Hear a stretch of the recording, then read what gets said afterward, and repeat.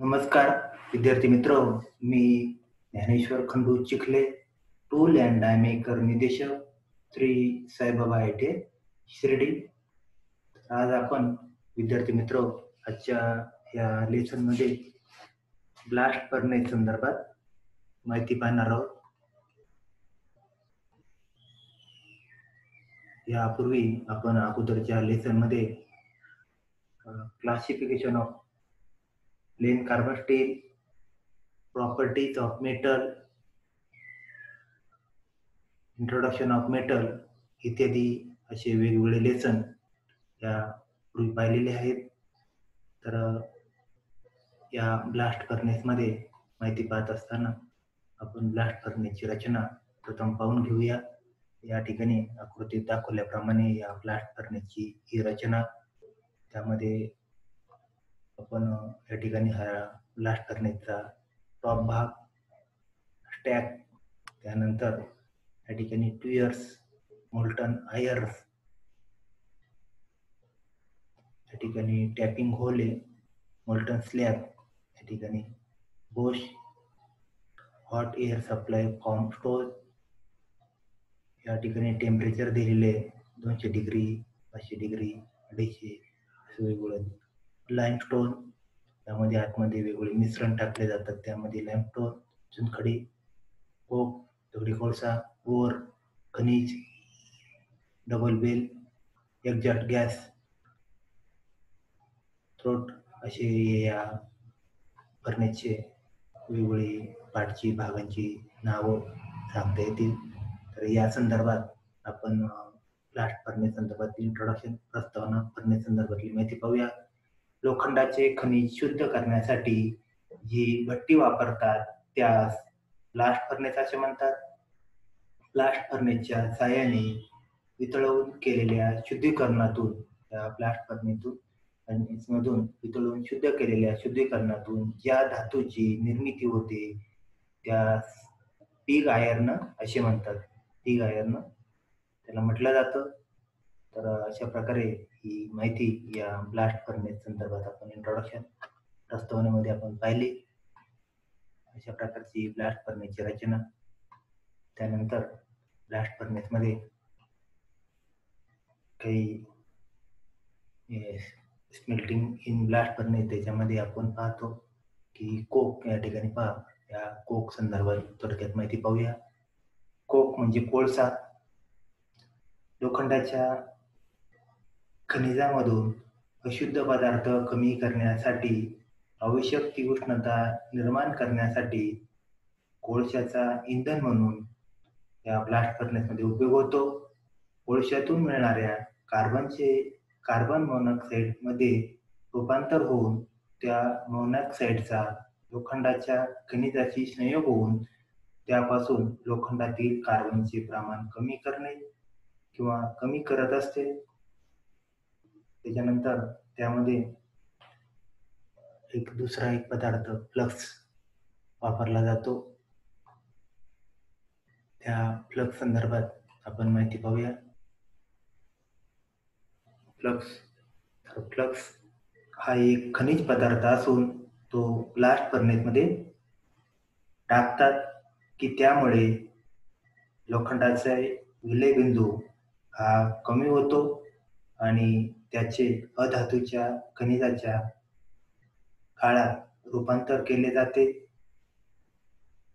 Blast फर्नेसमध्ये सर्वसाधारण चुनखडीचा flux म्हणून वापर करतात. या ठिकाणी लाईमस्टोन हा एक फ्लक्स म्हणून या ठिकाणी फर्नेसमध्ये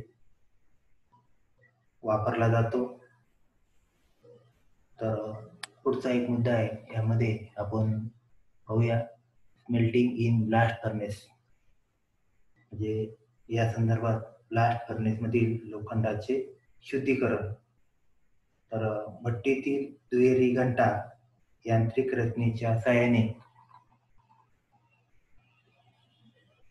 या ठिकाणी डबल बेल दुहेरी घंटा यांत्रिक रचनेच्या सहाय्याने कच्च्या स्वरूपातील लोखंडाचे कच्च्या स्वरूपातील लोखंडाचे खनिज कोळसा क्लब यांचे एकाड एक असे थर या भट्टीमध्ये भरले जातात. या ठिकाणी आपल्या लक्षात येईल या ठिकाणी चुनखडी आयर्न ओर कोळसा असे एकाडेक थर या भट्टीमध्ये भरले जातात.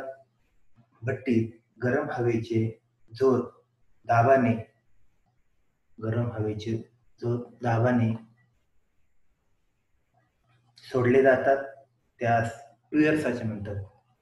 त्यास या गरम हवेचे जो सोडले जातात त्यास ट्युअर्स या ठिकाणी ट्युअर्स असं त्याला म्हटलं जातं. जेव्हा आतील सर्व पदार्थ वितळण्यास आरंभ होतो त्यावेळेस भट्टीचे तापमान ट्युअरच्या किंचित वर म्हणजे वितळण विभाग म्हणजे ते तापमान एक हजार अंश सेंटीग्रेड ते सतराशे अंश सेंटीग्रेडच्या दरम्यान असते. चुनखडी या ठिकाणी या भट्टीमध्ये प्लगचे काम करत असते. लाईफटोन हे प्लगचे काम करत असते व अधातू पदार्थाबरोबर संयोग होऊन अशुद्ध खनिजाच्या गाळात त्याचे रूपांतर होते हा गाळ वितळलेल्या लोखंडावर तरंगतो. हा काळ स्लॅग म्हणतो आपण हा वितळलेल्या लोखंडावर तरंगतो व स्लॅग होलमधून बाहेर टाकला जातो. त्या ठिकाणी हा गाळ स्लॅग होलमधून बाहेर टाकला जातो. वितळलेले लोखंड स्वतंत्र छिद्रातून बाहेर काढले जाते. या ठिकाणी वेगळ्या चित्रातून ते वितळलेलं मटेरियल बाहेर काढले जाते. वितळलेले लोखंड खोदकाम करून उद्योग ठोकळे किंवा पोलाद करण्यासाठी पुढील प्रक्रियेसाठी पाठवण्यात येतात. या भट्टीतून तयार होणाऱ्या लोखंडाला पीक आयर्न असे म्हणतात. ब्लास्ट फर्नेसमधून तयार होणाऱ्या लोखंडाला पीक आयर्न असे म्हणतात. अशा प्रकारे आपण या smelting in blast furnace blast फर्नेसमध्ये अशा प्रकारे क्रिया होऊन अशुद्ध आयर्न आयर्नवरच्या माध्यमातून पीक आयर्न कशा प्रकारे तयार केलं जाते आपण पाहिले. त्यानंतर पुढचा मुद्दा आहे प्रॉपर्टी अँड युजेस किंवा यूज ऑफ पीक आयर्न आता या ब्लास्ट फर्नेसमध्ये आयर्न ओरपासून तयार झालेल्या पीक आयर्नचा गुणधर्म आणि उपयोग. तर त्यामध्ये शुद्ध करण्याच्या प्रक्रियेच्या वेळी उद्युलोकन कार्बन सिलिकॉन सल्फर फॉस्फरस आणि मॅग्नीस मॅंगेनीज हे घटक मोठ्या प्रमाणात शोषून घेते. कार्बनच्या जास्त प्रमाणामुळे उद्युलोखंड कठीण व ठिसूळ बनते. त्यामुळे ते कोणतेही उपयोगी वस्तू बनवण्यास अयोग्य ठरते. म्हणून मृत्यू लोखंड परत वितळून ते शुद्ध करतात व ते वेगवेगळ्या प्रकारचे लोखंड व पोलाद बनवण्यासाठी वापरतात. यामध्ये साधारणपणे चौऱ्याण्णव टक्के लोखंड चार ते पाच टक्के कार्बन असतो. अशा प्रकारे या ब्लास्ट फर्नेस मध्ये जे पीक आयर्न तयार होते त्याचे गुणधर्म उपयोग आपण पाहिले. तर विद्यार्थी मित्र आज आपण आजच्या या लेसनच्या अनुषंगाने माहिती पाहत असताना ब्लास्ट फर्नेस संदर्भात माहिती पाहिली की लोखंडाचे खनिज शुद्ध करण्यासाठी जी भट्टी वापरतात त्या ब्लास्ट फर्नेस असे म्हणतात. त्यामध्ये प्रामुख्याने कोक दगडी कोळसा फ्लक्स म्हणून लाईमस्टोन चुनखडी आयर्न ओर इत्यादींची एखादी एक थर यामध्ये टाकून उष्णता देऊन पीक आयर्नची निर्मिती केली जाते. अशा प्रकारे आज हा ब्लास्ट फर्नेस संदर्भातला लेसन संदर्भातला व्हिडिओ पाहिल्याबद्दल आपले सर्वांचे मनपूर्वक धन्यवाद.